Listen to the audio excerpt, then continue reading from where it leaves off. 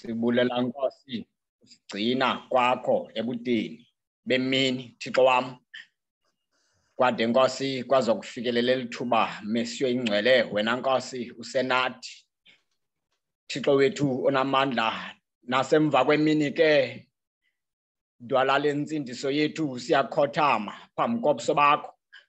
Sisizisa nkosi kuwe imbeko nozuko ngoba nkosi zikufanele. Thixo wethu onamandla amakhulu asimbonanga uThixo njengawe. Siphakamisa izandla mesiyo ingcwele sisithi ebeneza usigcinile nkosi kwade kwalapha. Thixo wethu ingcwele sesiyangena ke mesiyo ingcwele kuyo lenkonzo bawethu namandla Thixo wethu ingcwele silapha nkosi ngoba simenye nguwe. Thixo wethu namandla sicela ke Nkosi yami elungileyo sibuve ubukho bakho ungasishiyi nomzuzwana ungene nathi kuyo le nkonzo. Bawo wethu namandla Thixo wethu ingcwele nasi inkosi isicaka sakho Thixo wami owasonyulayo bawethu sezulwini wasonyulela nkosi izwi lakho. Thixo wethu namandla nanku nkosi utata umfene bawethu ingcwele Nkosi yami. Bawethu namandla eseza kuma Nkosi kulo eliqonga Thixo wami. Ezokutyhila Nkosi inhliziyo yakho Thixo wethu ingcwele. Bawethu namandla ezosazisa Nkosi Thixo wethu namandla indlela zakho. Bawethu ingcwele Thixo wethu namandla mngcashe Nkosi. Mngcashe mesiyo ingcwele ngomoya wakho oyingcwele. Thixo wethu namandla Nkosi yam leyamini wehla ngayo. Inkosi yami. umoya wakho oyingcwele mayiphindwe apha kuthi. Bawethu ingcwele khona ukuze Nkosi sikuve usebenza. Thixo wethu namandla usebenza Nkosi ezinhliziyweni zethu. Khona ukuze Nkosi sihambe senze ngokufana nawe. Bawethu sezulwini nanku umkhonzi wakho ke nkosi yami namandla. Ngonyana nkosi womuntu thixo wami bawethu ingcwele kodwa nkosi ngelithuba sinqwenela ukuva yena ethetha sinqwenela nkosi ukuva wena uthetha ngaye thixo wami ngoba nkosi yami wambiza thixo wethu ingcwele khona ukuze bawethu ingcwele ngaye ilizwe nkosi likhanyisele. Ngaye nkosi yami elungileyo elizweni elizweni inkosi kubekho isongo. Sicela wena ke nkosi njengothixo nangokuhlwanje liza kutyhilwa izwi lakho. Bawethu engcwele masive ukuthetha kwakho nkosi. Bawethu engcwele phefumlela ilizwi lakho ngokwakho. Bawethu namandla izwi lakho nkosi liyadala. Izwi lakho nkosi yami elungileyo bawuthi mngcwele alibuyi lingabuyeli kuwe lingawenzanga umsebenzi walo. Lithi nkosi lakuwa izwi lakho liwenze umsebenzi. Thixo wethu namandla nangokuhlwa nkosi sicela izwi lakho lenze umsebenzi ezimpilweni zethu.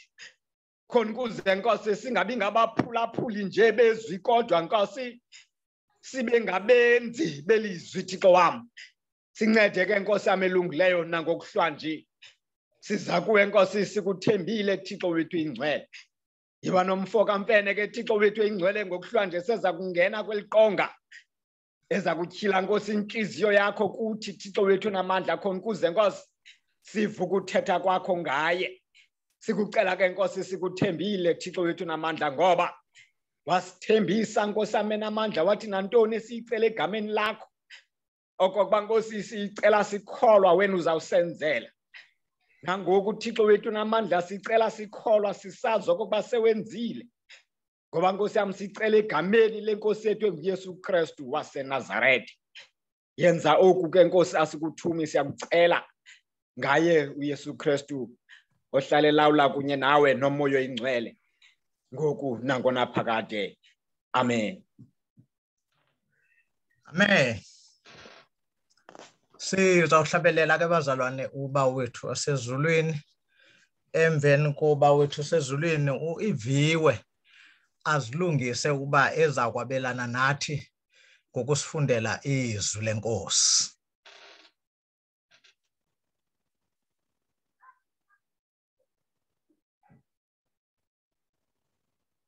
wethu patrzę go.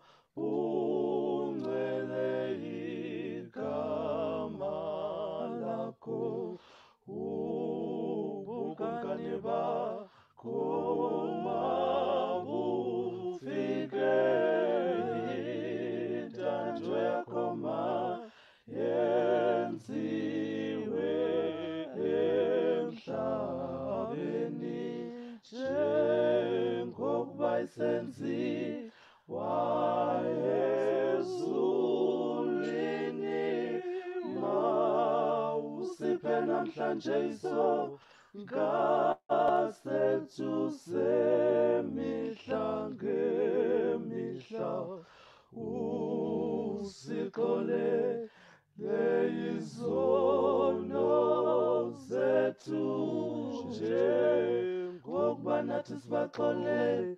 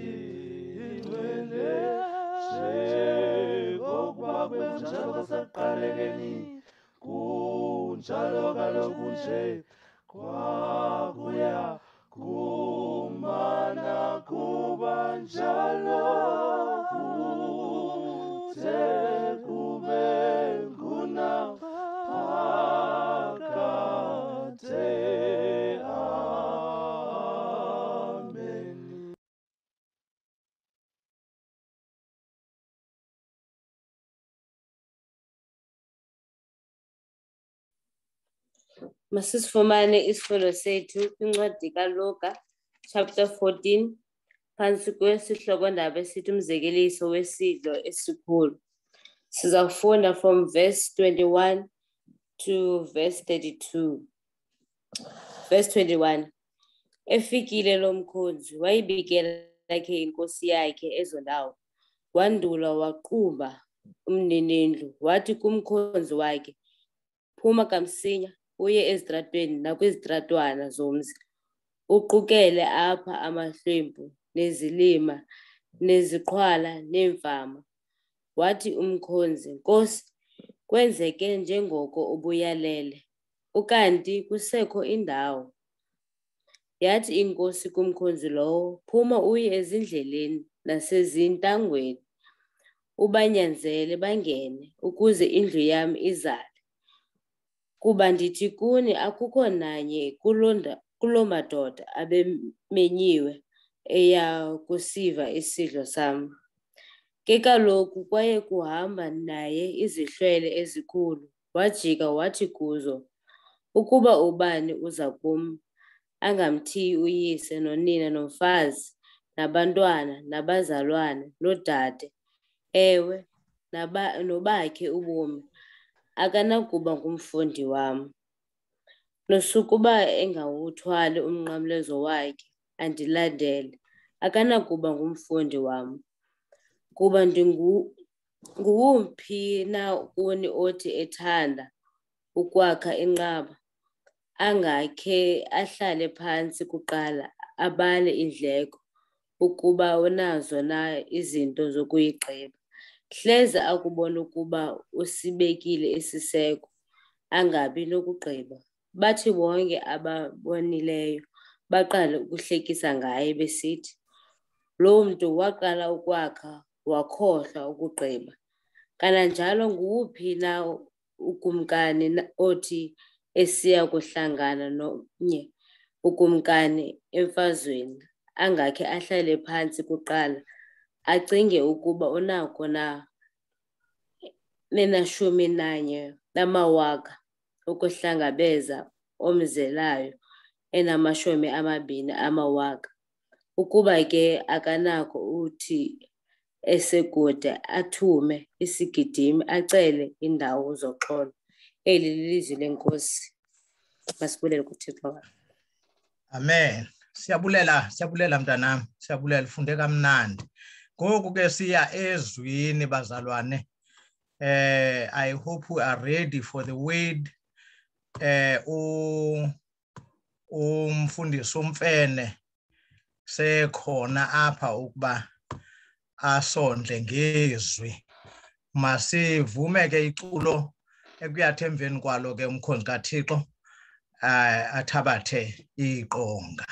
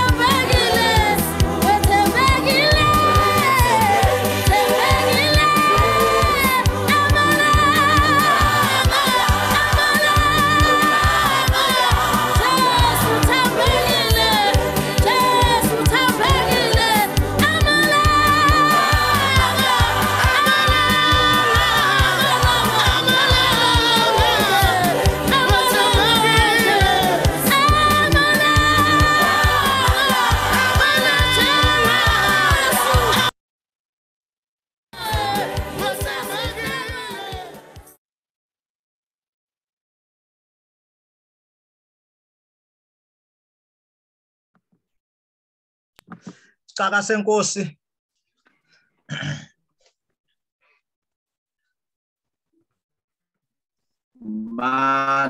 mandithathe ithuba eh ndibulise abakhoyo ndibulise oomama ubefundisikazi ndibulise abadala amadodana omama bokuthandaza intombi sangolwesithathu ikwayara yokuvuma ingoma ezimyoli. Ndibulise ke nabo basemaqhoseni ndibulisa ke indwendwe ezikhoyo phakathi kwethu. Naye wonke umuntu okhona ebusuku nje eh ndinibulisa ngegama lenkosi yethu uYesu Kristu molweni bangcwele. Ndi ndithi nam mandiphakamise isandla eh nge-replacement kamfundisi eh umabanje ngenxa yemeko ke akekho. Uyawuba khona ke ngelinye ithuba. Ndimapha ke phantsi kwale veki yethu esiyibekele bucala. Bethe kumfundisi uthatha izolo yimvuselelo umvuse ulele. Evangelism explosion i-revival service yokuvuselela izazela zethu. Le meko ke isenzeka ngexesha elinzima kakhulu ezweni ngexesha ekukhula eh, icawa ezama u- ukuzi-identifya okanye ezama ukuphakamisa ibhanile kathixo. Icawa ezama ukuphuthuma. Eyona nto yayisekelwe yona ngoba kwixesha elikhoyo icawe iphile kakhulu kwi-era ye-christendom period apho besi-expect abantu bezicaweni eh ingabiyo cawe yabantwini kodwa sizama ukubuyela kwi-basics. Sizama ukukhunjuzwa kule veki amazwi athi nina nilukhanyiso lwehlabathi umzi omi phezu kwentaba ongenakufihlakala. Sihamba ke ngalo mgomo ukuba let be the light makukhanye. Bantakwethu yanga sikhumbula amazwi uthixo awawathethayo kwincwadi yegenesisi. Athi umbhali ehlabathini kwakumnyama kungekho nto. Uselibala. Kodwa uthixo wathetha ngezwi ebumnyameni. Wathi makube kukukhanya incwadi ke yegenesisi kwabakho ukukhanya ngezwi likathixo. Yiloo nto ke esibonileyo kule veki nathi masizeke emzikweni kobu bumnyama sikubo. Sithi ngezwi likathixo ma kubekho ukukhanya sinethemba ke izawuphela le veki. Kwenzekile oko izawuphela le veki ukukhanya kukhona. Ndifuna irhamente kule vangeli kaluka. Indilinde kule ndawo. Ngamashumi mabini ananye kule ndawo bekufundwa kuyo. Phuma kamsinya uye ezitratweni udibanise nale ndawo yokugqibela uthi kubisekho indawo ya. Funa nje sihambe ngalo mazwi ebusuku nje. Ivangeli kaluka lishumi elinesine. Sithatha la mqolo wamasumi amabini ananye. Phuma kamsinyane uye ezitratweni nasezindleleni. Bese ugqibela ubaxelela uba isekho indawo ifuna sihambe ngaloo nto ebusuku nje. Phantsi kwalo mgomo ubekiweyo. Ndifuna nje ukushiya othi we are compelled to come and commanded to go. Ndifuna nje ukuchancatha phezu kwalomgomo we are compelled to come and we are commanded to go. Ifuna uhamba kuloo ndawo engicela ke irhamente kuyo yonke into ezayithetha yazi ukuba laa mculo waserhabe likhulu ngamashumi lishumi lesine 140 sibizele enywebeni ifuna sihambe ngaloo ndawo. Uluka lo bantakwethu. Umbhali walevangeli. Kuluka lo ubhalayo levangeli. Eligama ke lithi luka lisuka kwigama lesilatini elingulukas. Kodwa ngokwesilatini ingulux okokuthi light. The gospel of luke is the gospel of light. Ngoba igama lalombhali liyamcela uLuke uba bumbhali obhala levangeli khona ukuze abantu bakhanyiselwe bubukho benkosi yethu uYesu Kristu.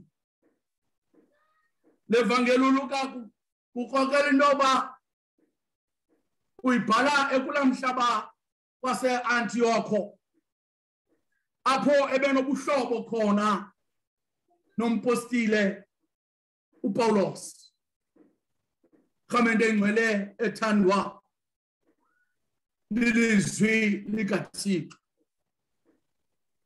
Ivangeli zontathu ezibizwa ngokuba zisynoptic gospel nalena kaJohane ziyancwina into yokuba uLuka lo akafumaniseki incakasana owayengumfundi kaYesu Kristu.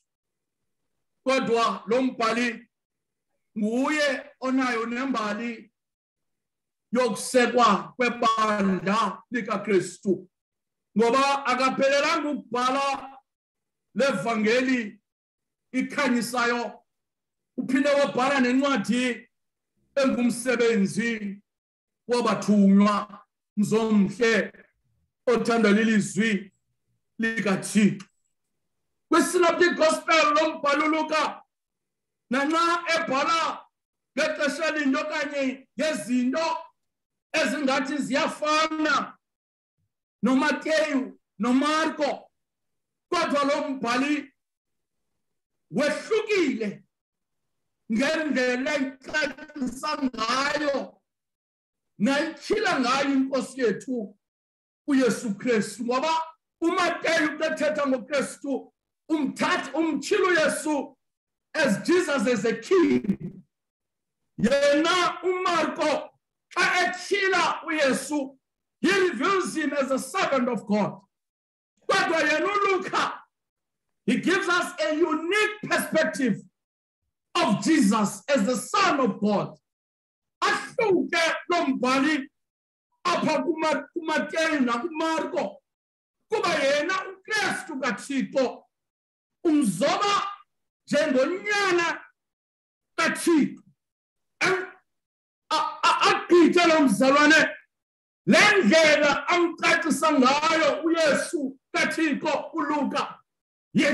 Yindlela nayo ukristu azibiza ngayo amaxesha amaninzi ngokuyesu ka ethethe ngaye wayesoloko esithi he is a son of man. Unyana womntu bantwana bedinga elihle lo mbhalo uyaziwa yona nto imenza aziwe. Kulelinye lamabali ayimbali kwisiba lakhe okanye kule ncwadi yakhe bantwana bedinga elihle ibali likazakeyu rhamente engcwele kathixo. Kulo mbhali yedwa asinika eli bali lingummangaliso indoda eyimfutshane kadinomnqweno wakuyibona inkosi bantwana bedingelihle ngenxa yobufutshane bayo kodwa yenemigudu lendoda rhamente ngcwele ephile ezantsi emhlabeni yokuba ihambe iyokhwela emthini khona ukuze ibonwe. Yinkosi yethu uyesu kristu libali lomzalwane aziwa ngalo. Bantakwethu uyesu esiza waba nomdla bantakwethu. Wokuba le ndoda imeme athi yihla emthini kuba ndizowulalisa kwakho. Athi luke chapter 19 verse 10 athi kuba weza unyana womntu ezokufuna nokusindisa. Oko kulahlekileyo bantwana bedingelihle elithandwa nguthixo. Uluka bantakwethu umphoteya uyesu. Njengomntu oweza khona ukuze abantu basindiswe. Kodwa le nto eyenza with ihumility eyenza le nto ngentobeko engaphakamanga yile ntathi kwelibali apho ngasentla athi eziphakamisayo uyakuthotywa kodwa lowo uthobekileyo uyaphakamiswa ivangeli kaluka ke leyo i-gospel of humility ethi kumele thina sizithobe khona ukuze isandla sikathixo. Ibe siso esisiphakamisayo ivangeli kaluka ke leyo ivangeli bangcwele enamandla. Ivangeli yothixo othanda umntu ngoba yiloo nto esiyifumanayo kule ncwadi kaluka nguthixo othanda umntu bantwana bethu ngelihle. Nguthixo onothando is god's love eli lafunyanwa nguzakeyo uthixo okhathalayo god who cares for us. Uthixo osikhathalelayo uthixo ongasincamiyo uthixo olanda njalo. Emkhondweni wethu yile nto ithethwa nguluka. Kamente engcwele kule vangeli yakhe kodwa namhlanje abantakwethu simbamba uluka yeyi bazalwane esibalisela ibali elinzima umzekeliso wesidlo. Kamente engcwele ethando lilizwi likathixo. Endifuna abantakwethu uthixo namhlanje i want us to talk about three things kweli bali bantakwethu ibali elingummangaliso endithi amaxesha onke ndilifunda ndilibone libali bantakwethu lizoba licacisa indima kakrestu kwakuba nguye osibizayo akusibiza phinde asithumezweni compelled to come and commanded to go. I want to talk to you about today about god's desire to save the lost. And okwesibini this is god's desire to save the lost. And our role in his plan. There is god's plan. In the god's plan there is a role that we are expected to play. This passage endifunde kuyo is about god's invitation to salvation. Le nto sifunde namhlanje is about isimemo uthixo. Asibeka phambi kwakho nam ebusuku ukuba size size sizoxhamla sizokudla isonka sobukumkani bukathixo. Yiloo nto endifuna siqaphele kwesi sahluko sisimemo. Is the invitation that god is sending to us, inviting us to come and participate in his project of salvation. Yiloo. Kodwa loo nto, I want us to look at under three aspects. This invitation, okay. There are three aspects of this invitation endifuna sizijonge ebusuku eh, eh, nje. Eh, Eyokuqala, the invitation is extended. Eyesibini, the invitation is extinguished. Eyesithathu, the invitation is expanded. Zazo nto zontathu endifuna sincokolo ngazo kule ndawo ndifunde kuyo. The gospel according to Luke chapter 14. The invitation is extended. The invitation is extinguished. The invitation is expanded. Ndifuna ebusuku nje masizolala to consider these aspects of God's invitation. And I will try bangole to preach on this thought. uThixo ayibekileyo ebusuku compelled to come and commanded to go ndifuna nje ukwenza loo nto masiqalise ke singene bathandekayo. The first aspect esiyifumana kule ncwadi kaluka mzomhle othandwa lilizwi likathixo. Siyeva kweli bali uba kwakukho umsitho kwakukho isidlo esasilungisiwe. Mzomhle othandwa lilizwi likathixo. The invitation was extended. Zakhutshwa izimemo kumenywa abo bawufanelele umsitho bantwana bezindeni mhle bemenyelwa esidlweni bemenywa ngumnikazi wesidlo lo ebebalungiselele kwayaba bantu bamenyiweyo umnikazi yawayenethemba lokuba bayayazi into yokuba kumele bantakwethu beze esidlweni rhamente engcwele kathixo eyona nto luka asixelela yona.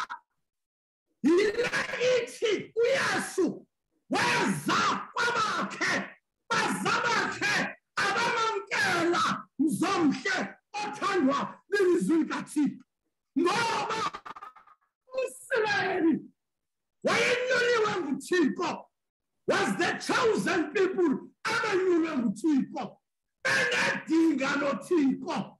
Kodwa baphanguka emendweni balushiye ufefe lukathixo rhamente engcwele kathixo. Yeyi bazalwane walungisa umsitho. The event yalungiswa bangcwele zaphuma izimemo.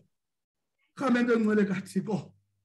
Apha sibona uyesu jesus is using this feast to illustrate god's kingdom. Yeyona nto uyesu ayitshilayo apha ngoba wayephakathi kwabafarasi. Kwaye abafarasi babemvavanya. Uyesu apha is responding kwi-hypocrisy awayejongene nayo. Ngoba bambizile bembizele esidlweni uyesu kanti kule ndawo abizelwe kuyo kukho umntu onesifo esiyidalimoya bafuna uyesu kathixo amtekise lo mntu. Bafuna uyesu kathixo ave ukuthi apha etafileni kuhlala umntu onegalimoya ye bazalwane ihypocrisy. Rhamente engcwele kathixo. Abantu abanehypocrisy. Abantu abasoloko belinga izinto zikathixo. Apho uyesu uyalingwa kodwa uyesu kathixo le nto wayiphendula. Wathi ngubani lona kuthi iesile lakhe lisifa ngemini yesabata aliyeke bangcwele ithi incwadi kathixo aba bantu who were trying to catch him. Yebazalwane sikwixesha elinzima sikwixesha le-epokhisi apho abantwana bakathixo abamele izwi likathixo bezanywa nkosi ukubanjwa bebanjwa nkosi zingabantu bezinto zeli lizwe bebanjwa nkosi ngamayelene abawenzelwayo bangene kuwo. Kodwa kumele bathembe uyesu noba sezikhona ezo nto ukuthi bazophumelela egameni lenkosi yethu yesu yeyi bazalwane zaphuma izimemo umenyo wabo wawufaneleyo umsitho. Rhamente engcwele kathixo. Zaphuma izimemo. Kumenyo wabo wawufaneleyo umsitho. Kodwa sofumana ukuthi abo babemenyiwe. Rhamente engcwele kathixo 18 to 20 kule vesi kule ndawo sifunde kuyo luka kagospel kaluka siva when the invitation was extinguished it was extended to them come and join us in the feast but yeyi bazalwane although the invitation was for those who thought they would come, but they didn't come. Everything was planned. And these people were, were expected to participate on this event. But they didn't come. When the date of the feast arrived, umnikazi obelungisa isidlo yebazalwane wakhupha isijoli ukuthi masihambe masihambe to call those who have been invited. Umnikazi olungisa isidlo wakhupha isijoli wathi kwisijoli masambe simemeze kwabo bamenyiweyo ukuba beze emsithweni the invitation is extinguished. Abantu bamenywayo okanye bebemenyiwe babelazo usuku babeyazi le date. Kodwa ngeshwa bangcwele ngeshwa they could not come. Zange beze those who have been invited. Those i-invite eyayikubo when the day come malufika usuku they didn't come. Uthi umbhali benza i-excuses banika izizathu bangezi rhamente engcwele kathixo. Aphena nto asibonisa yona lo mbhalo. The primary context of verses 18 to 20 points us to the Israel. And they are called to come into the kingdom of God. Ngoba amaSirayeli ayesisizukulwana esenyuliweyo nguThixo. uthixo wayenenjongo yokuba ibe ngabo abazawukhanyisela iintlanga ezininzi. Ngelishwa lomhluzi amanqina baphonqukana nale nto. Rhamente engcwele kathixo. Just like in this parable sifunda kuyo babebenyiwa abantu yet They have been waiting patiently for the arrival of the Messiah. Abaprofeti babethethile ngokuza kukaMessiah. Kodwa mayefika uMessiah they refused to welcome him bahala abantu ukuba bathathe inxaxheba kumsebenzi wezulu. Yona ndimkhathazayo zii-excuses aba bantu abazenzayo. I want to just examine these excuses. Okokuqala xa ndiyijonge i-excuses yakhe it was based on material positions lo mntu waphoswa kuhlangana nenkosi yethu kristu because of material positions. O- owesibini i-excuse yakhe kuba wayethenga inkomo. It was an excuse of professional advancement.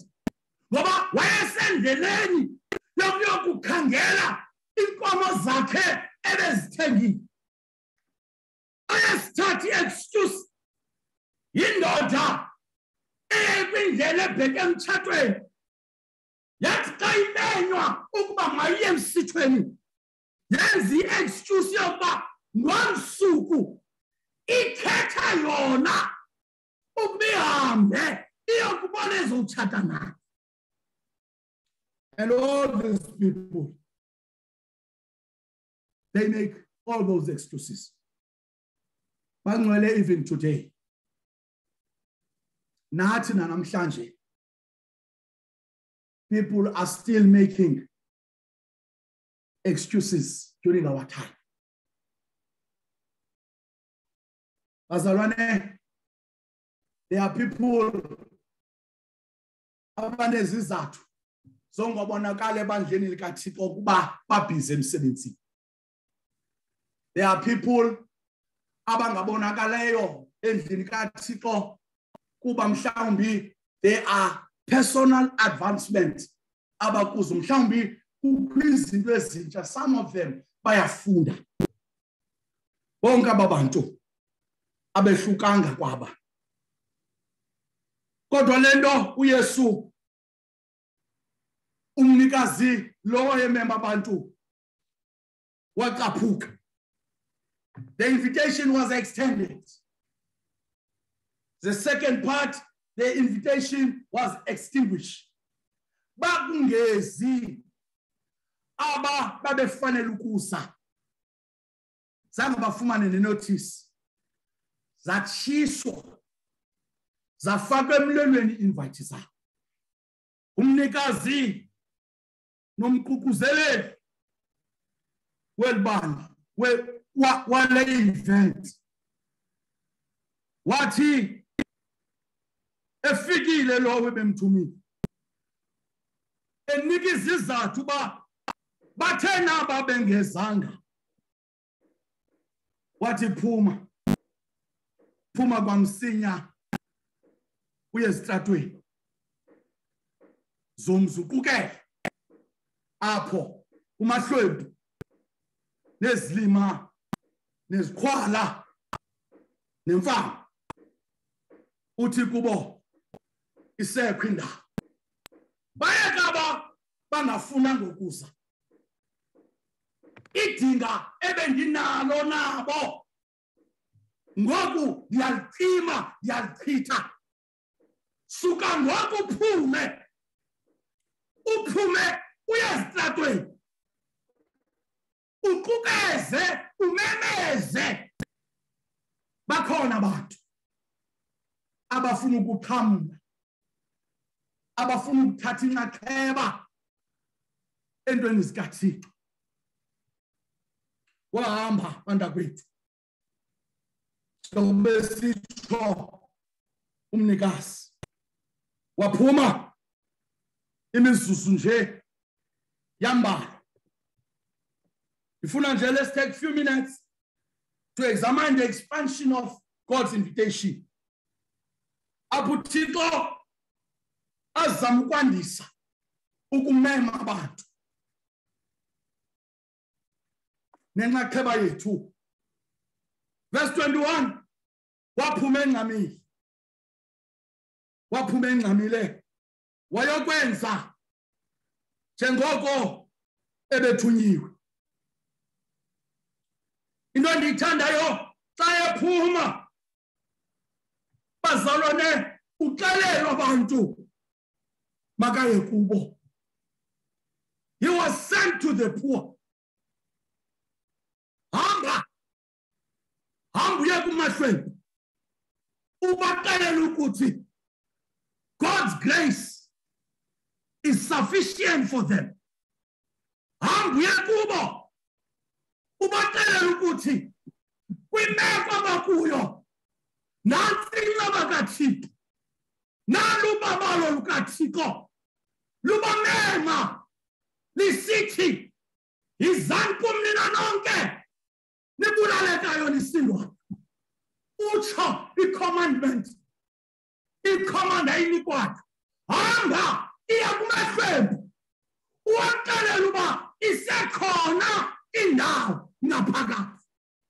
Hamba iya kwizikhwala ubaxelela uba isekho indawo ngaphakathi.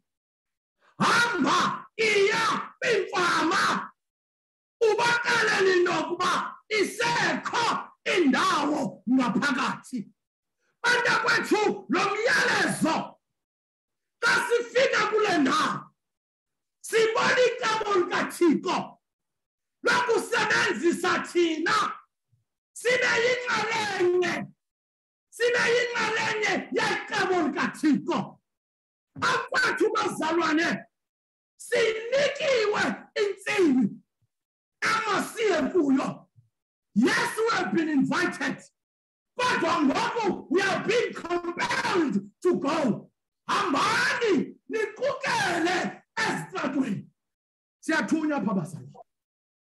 Bandla likathixo liyathunywa kuvesi 21 compelled to go. Hamba, hambring upon. Yeah, it was Fumana. Was Fumana is quad. But Fumana, Nabo, Amashwe, Neslima Basalwa. Hey, Neslima. Islima ke ayithetha you. they were literal. They were literally besizilima.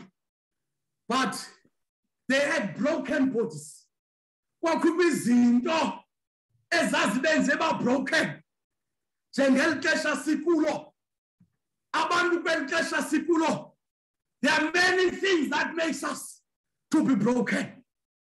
Yeyi bazalwane kunzima akulula phandle apha.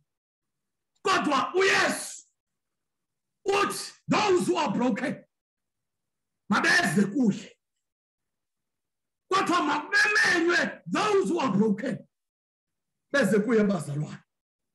Ngoba god loves those who are broken. Bayamenywa nguthixo ukuba beze. Rhamente engcwele kathixo. The halt nezikhwala those who are tripled those who are unable to get around abo babehleli phantsi bengakwazi ukuphakama kwathiwa nabo. Mababizwe hey yangathi ngumprofethi uisaya. Le le manifesto yesu naye ayithethileyo. Athi umoya kathixo uphezu kwam. Bakuba ndindulule ndikhulule abaqobekileyo ndikuthi nezikhwala zihambe. Abanini bathuthuzeleke. ngokwapha sithunywa kubo god is compelling us to go. Sihambe silibandla likathixo siyowukhangela abantu abazizikhona. Siyowukhangela abantu who are poor in spirit. Siyowukhangela abantu yeyi abazizilima sizobamemela endlini kathixo. Udidi lwesithathu olunye awayethunywe kuyo lo mzalwane zimfama yeyi nemfama we're also invited. Ndifuna ukuthi ke sometimes i-blindness siye si-associate nomuntu ongaboniyo. Kodwa ndifuna ukuthi ebusuku nje amongst us There are people who are trapped in their own little web of darkness. Mayibonge inkosi. Ndivumeleni nditsho ebusuku nje. Amongst us, there are people who are trapped in their own little world of darkness. Umfundisi umbhele ebethetha ngomnye wabo izolo.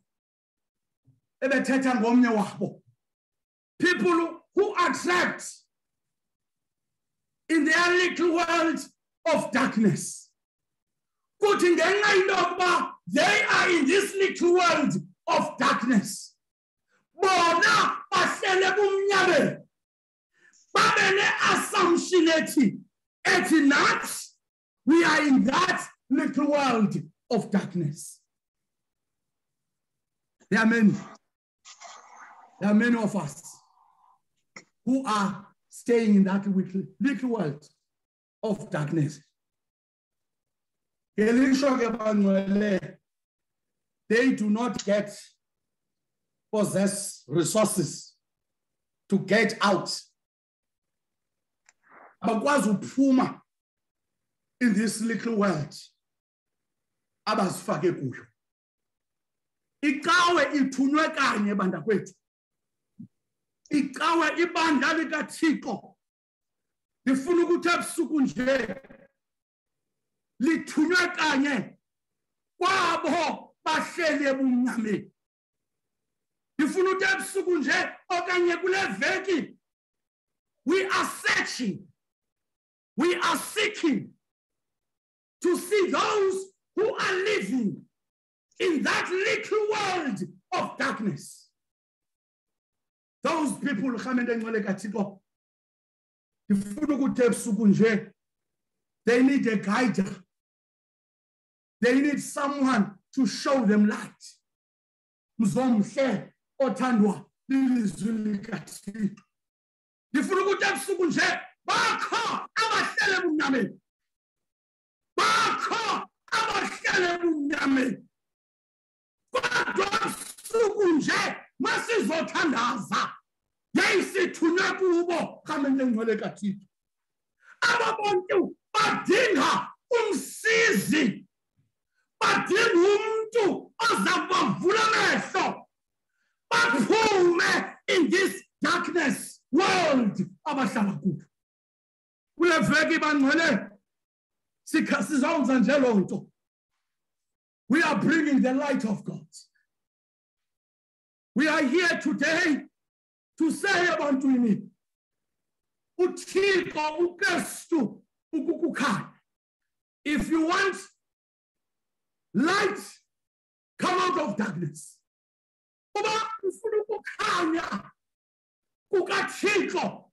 Uthixo uthumile ababingeleli nabaprofethi uthuma amadoda amakhulu ukuba eme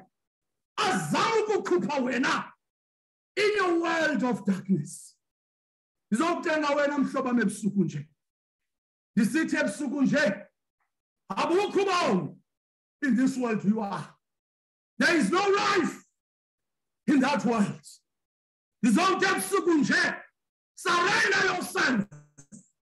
Sinomhlobo ngujesu find him. Seek him. Because mawumfuna uzomthola. Kwaye mawumtholile uzokuthatha akukhuphe ebumnyameni. Mzomhle othandwa lilizwi likathixo. Ube wayekhupha upawulose nawe angakukhupha mzomhle othandwa lilizwi likathixo.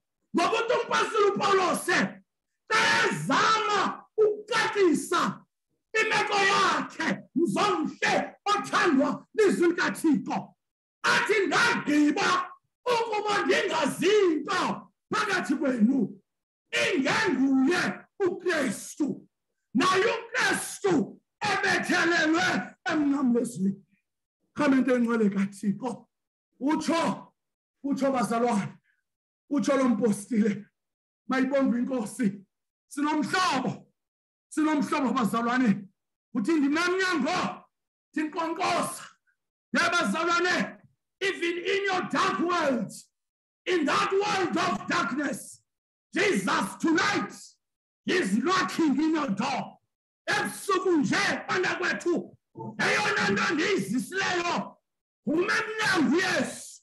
Uyankonkosa unedinga nawe ufuna uphume ufuna uphume ebumnyameni. Hey bazalwane ufuna uphume ebumnyameni ebusuku nje ngifuna ukuthi there are millions there are millions bazalwane. There are millions who are wandering around of spiritual darkness and headed to hell. Ebusuku nje ngifuna ukutsho there are millions banwele mhlawumbi nawe nam mhlawumbi abanye kwethu abathandwa lizwi likathixo yeyi bazalwane ndithi there are millions kodwa ndizokuthi usekhona umzuzu ukuthi from that millions that are counted ukuthi they are in the spiritual darkness banwele in that million who are heading to hell there is an opportunity.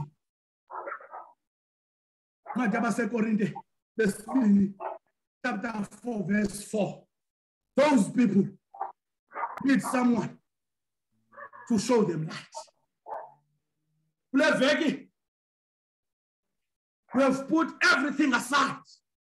Mhlawumbi nam i'm in that spiritual darkness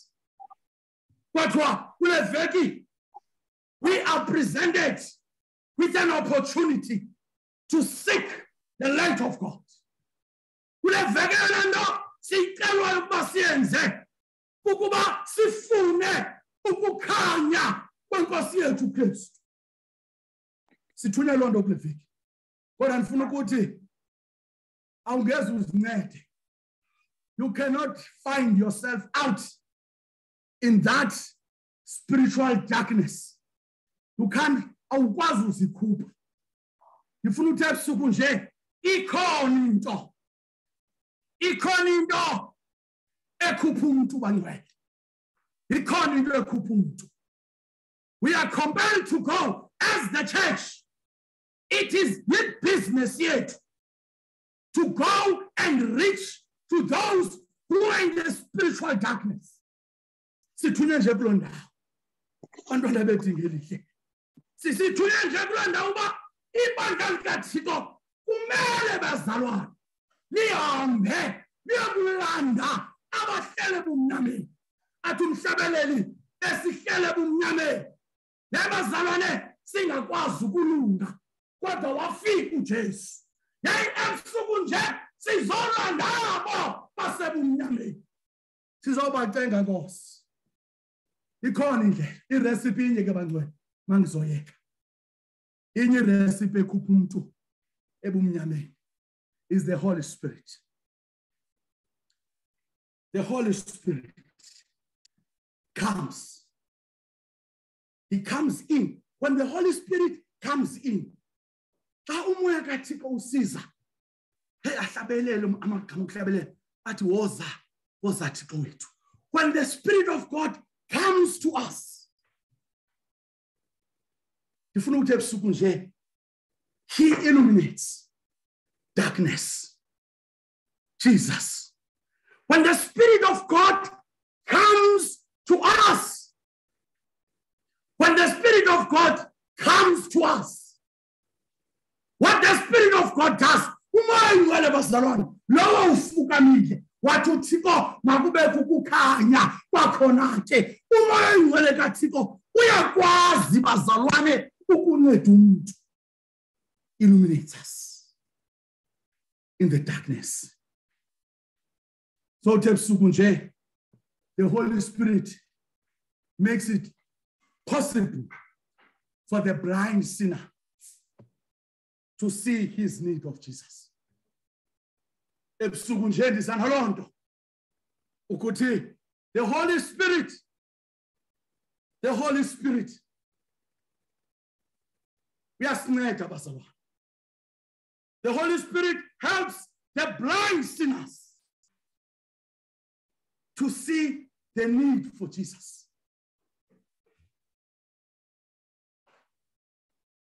Ebusuku nje xa ndiyeka those who have been already been delivered from blindness. Mna nawe abo sebephumile ebumnyameni. We are compelled to go. We are those who have been delivered from blindness. We are compelled to go kwabo basesebumnyameni and to hold the light for those who can still not see. Ndizawude ebusuku nje sithunyiwe silibandla likaThixo. His mission is our mission today. The mission day of God is our mission today. Ukuthi thina siphumile ebumnyameni. Indima yethu noxanduva lwethu yayibazalwane kukuhamba kukuhamba siphethe igange lomlilo siyokukhanyisela abasemnyameni. Ndizowuthi ebusuku xa ndiyeka we must take the light to those who are lost. Kule veki sithunyiwe bazalwane to take the light to those who are in the darkness? Simenyiwe uba sihambe silibandla likathixo take the light. Ndibona intombazana eyayihlezi equleni ebumnyameni. Xa iphuma ebumnyameni yamemeza yathi izani nankumntu endixelela izinto endandikhe ndazenza kodwa le nto izemveni kwengxoxo izemveni kwesimemo. Ndipha amanzi. Ngoba amanzi endizawupha wona mna awunawuzuphinde unqanwe ebusuku nje ndizowuthi sithunyiwe bazalwane. Let's take the light to those who need the light of god. Funa ukuqhubeka ngokuthi the invite for the feast xa ndifuna nje njengoba kuphela I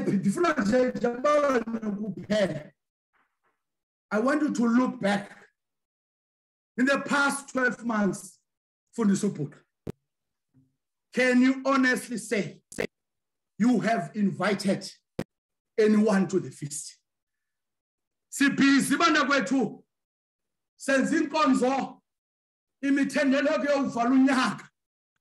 Yay, we have been in a journey of 47 Sundays. Kodwa ndifuna ukuthathe nje istep ujonge emva.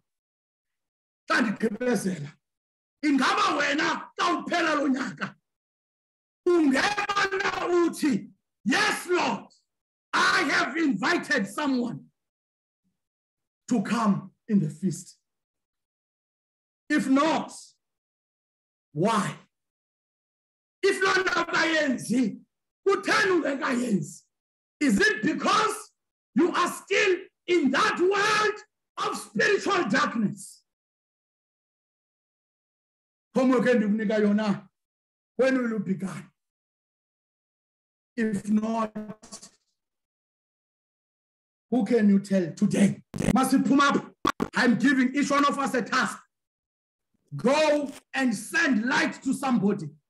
I am compelling you to go and be the light to others. The majority of the world around us is lost. They have been invited to the feast.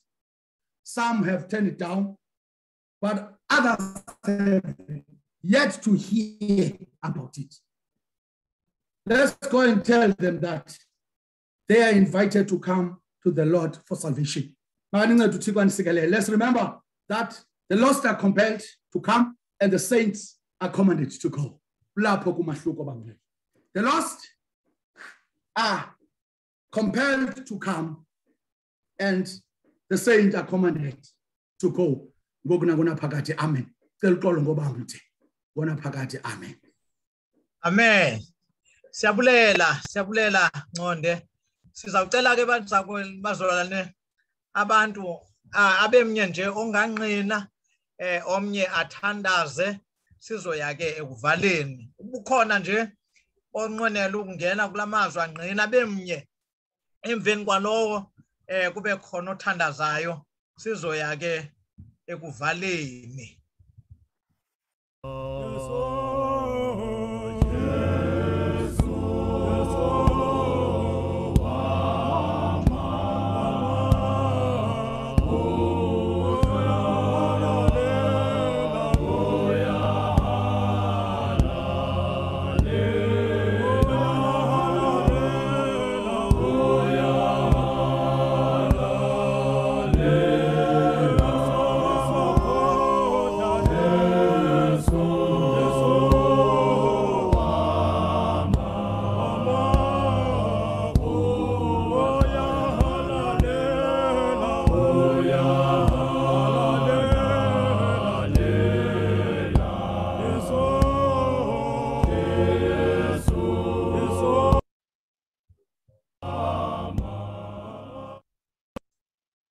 Umfundisi ubhuqa eh ngena mzalwane wami.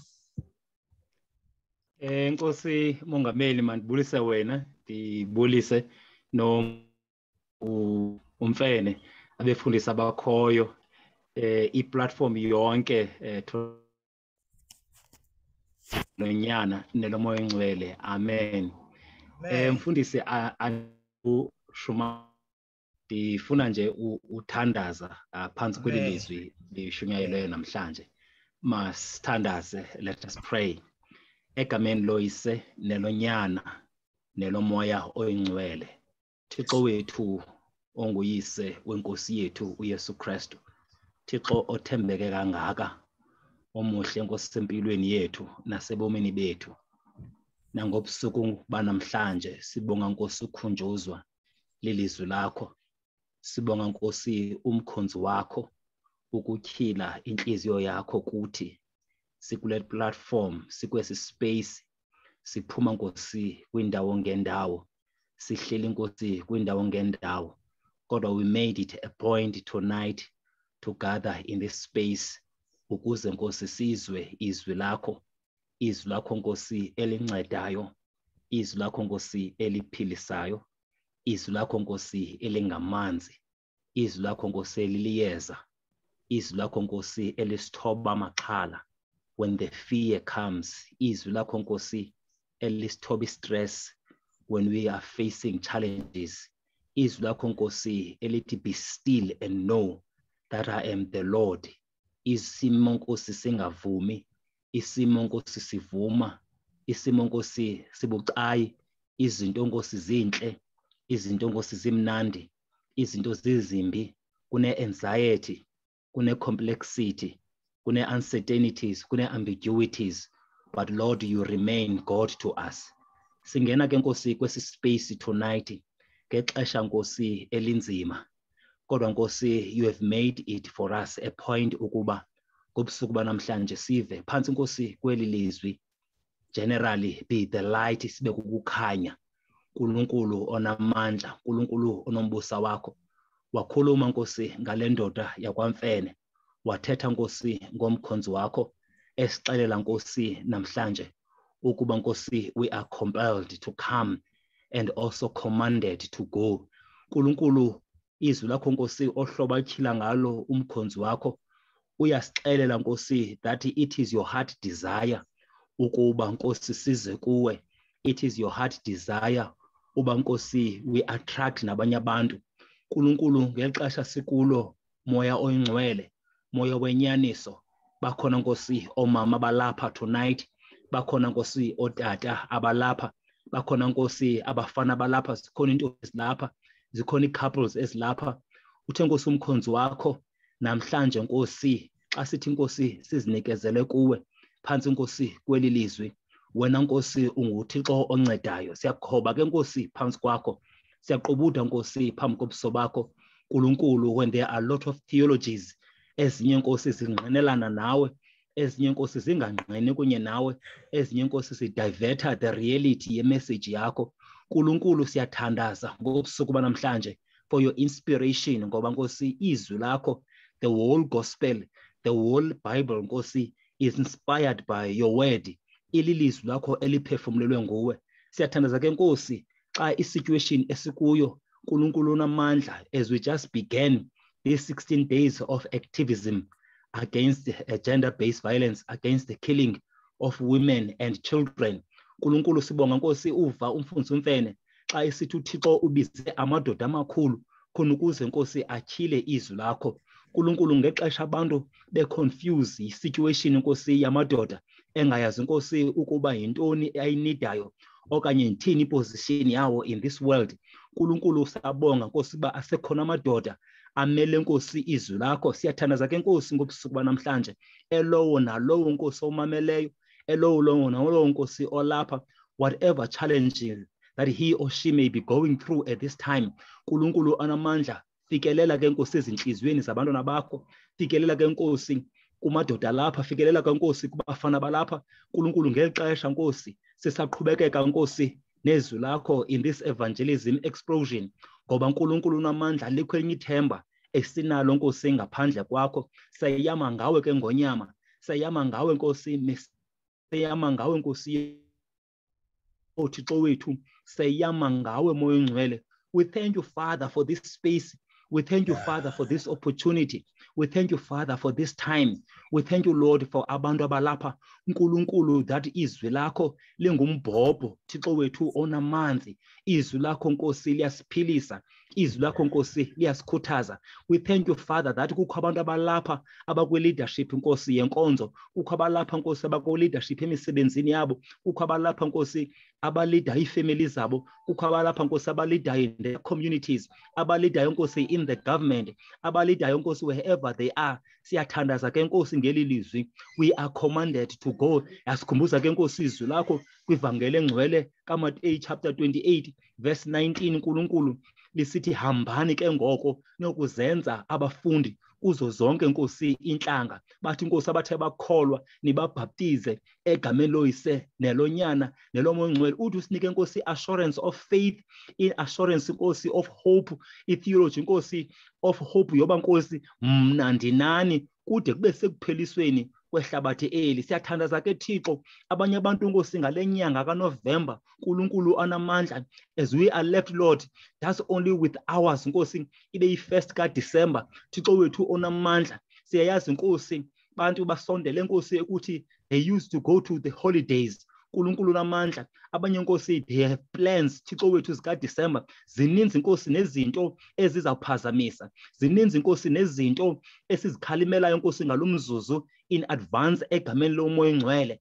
siyathandaza siziqalekisa nkosi ezizawukhathaza abantu bakho nezizawususa nkosi abantu bakho kwisimo nkosi ofuna uba sibe siso. Thixo wethu siyathandaza. Zininzi nkosi izinto ezenzekayo nkosi kwinyanga kadisemba. Kodwa nkulunkulu namandla sithandazele ukuba sime ezwini lakho. Sime nkosi ebungcweleni bakho. Sime nkosi in the holy spirit. Sime nkosi ibelief yethu our faith in christ alone. Thixo wethu siyabonga ngezwi lakho umkhonzi wakho nkosi ethe walushumayela namhlanje nkosi waphunda nkosi wasifundisa nendawo ethi those who come to, to, to jesus cannot be the disciples unless they love uyesu. Bathanda uyesu more than amakhosikazi abo. Bathanda uyesu more than abayeni babo. Bathanda uyesu more than abantwana bakho. Ngoba xa sithanda wena zonke izinto nkosi are given to us. Njengoba nkosi izwi lakho lisithi uh, seek first the kingdom of god and his righteousness and other things will be added unto us. Nkulunkulu ngothanda wena kuba kuxolo emakhaya. Ngothanda wena nkosi kuba kuxolo nkosi kwi-families ngothanda wena thixo wethu kuba kuxolo kubantwana bethu. Ngothanda wethu wena nkosi kubakho uxolo kwifemeli wethu zethu. Ngothanda wena nkosi kubakho uxolo kwii-communities zethu. Ngothanda wena kubakho uxolo kwisociety. Ngothanda wena nkosi kubakho uxolo kwination yethu. Ngothanda wena nkosi ngakho uxolo kwilizwe lonke because nkosi uluxolo wena uluthando wena nkosi. Xa si-emulator wena nkulunkulu amandla siza nkosi kwimbangi yodlula kobomi iyasitshalenja ke nkosi izwi ngobusuku banamhlanje about the light nkulunkulu ukukhanya. Thixo wethu namandla sireflecte kuthi sonke nkosi abalapha ootata abalapha iintombi ezilapha abafana balapha oomama balapha to reflect lord on this word uba what kind of light we present to the people. Ingaba nkosi this command esuka kuwe thixo wethu siyayilandela na? Okanye nkosi we divert ngenxa yoba sihamba nkosi ngeminqweno yethu. Nkulunkulu sithi vuselela izazela zethu ngobusuku banamhlanje. Vuselela ke nkosi umoya wakho thixo wethu. Vuselela ke nkosi intambiso yakho kuthi vuselela nkosi ukwazana nawe ukuthi vuselela nkosi iingcingane zethu zibe nxamnye nkosi kunye nezwi lakho. We thank you lord jesus christ ngobakho bakho. We thank you father ngexesha nkosi le-covid-19 emutatayo nkosi time and again ngoba nkosi sekukhulunywa ngo-omicron esingamaziyo nkosi scientifically noba nkosi usukaphi. Kodwa nkulunkulu in the midst of this confusion in the midst of this science in the midst of uh, and not understanding nkosi what is happening tomorrow not understanding what is happening in this evening. Kodwa nkosi sime egameni lakho ngoba nkosi khe sava umbhali ngenye imini esithi nakule ingxokolo sayame ngawe. So nkosi noba sesiseyikiswe ekufeni kodwa sayame ngawe ngoba nkosi ukuphila kwethu kukuwe ngoba nkosi ukuphila kwethu kukuwe. Noba sesifa ke nkosi sifela sikuwe. Siyabonga ke mongcwele. Ongcwele siyabonga nkosi ngoba nkosi sancama izinto esasikhuliswe ngazo nasemakhayeni ethu.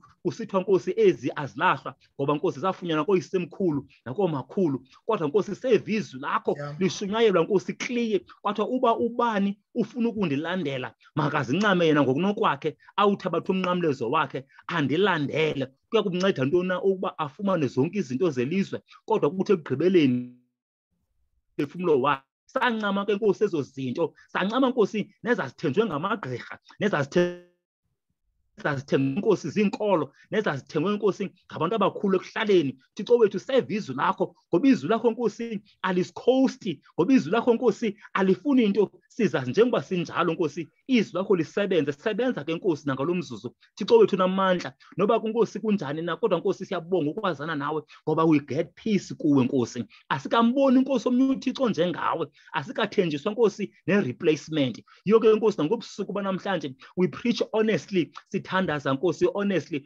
ngoba wena ulithemba lethu. Ayikho nkosi into esiyame ngayo ngaphandle kwakho. Siyame kuwe in our acad- academic siyame kuwe in our finances nkosi siyame kuwe in our marriages nkosi kuwe emisebenzini yethu siyame kuwe in our relationships siyame kuwe kwii-families zethu siyame kuwe kwizinto zonke nkosi siyame ngawe. Thixo wethu siproclaim izwi lakho imanual of faith and order yaserhabe ithi proclaim the lord jesus christ and savior and bearing the witnesses. Nkulunkulu sisobo bungqina ke nkosi ngobusuku banamhlanje. Siyathandaza moya ongcwele siyathandaza thixo wethu. Sebenza ke nkosi ngezwi lakho kuthi we pray father for the blood kajesus christ nkosi uba isihlambululo. We pray father for the young people abalapha nkulunkulu namandla. Khona ukuze nkosi sikhulele ilizwi lakho. Siyabonga nkosi ukwazana nawe ngoba nkosi siyonwaba kuwe. Kumnandi nkosi uba kuwe. Kumnandi nkosi uba sevangelini. Kumnandi nkosi uthanda ngawe. Ndiyathandaza nkosi siyabulela moya ongcwele. Ndenza kade thixo wethu.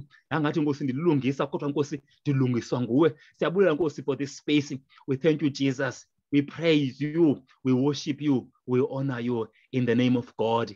God the father the son and the holy spirit. We pray baba. Amen. Amen. Eh uba ukhona omnye eh onqwenela ukuthandaza sizawuvulela nje lowo. Ukuba akekho ke sicele u eh president wamadoda eh umfundisi uNojoko eh osanda kubekwa njengo president wamadoda ebandla lethu lonke lamasamazantsi Afrika ukuba asenzele ufefe. Eh uba kekho ke omnye eh onga onqwenela ukwenza umthandazo. Sizamcela ke umfundisi asikhonze ngokusivalela. Emveni kwale ngoma emfutshane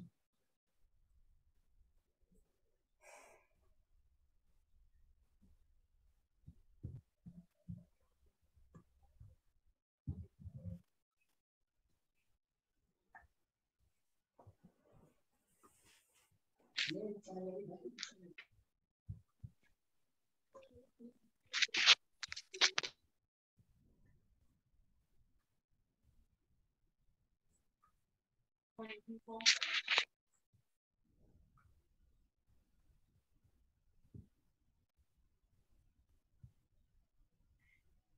Um, Mfundisi, it's so quiet. I'm not sure if are you trying to Oh. play the music or we ask Mfundisi Nojogo to continue with Oh, okay, the teaching. kwelo. I'm sorry, I'm Yes, sorry, I'm sorry, okay.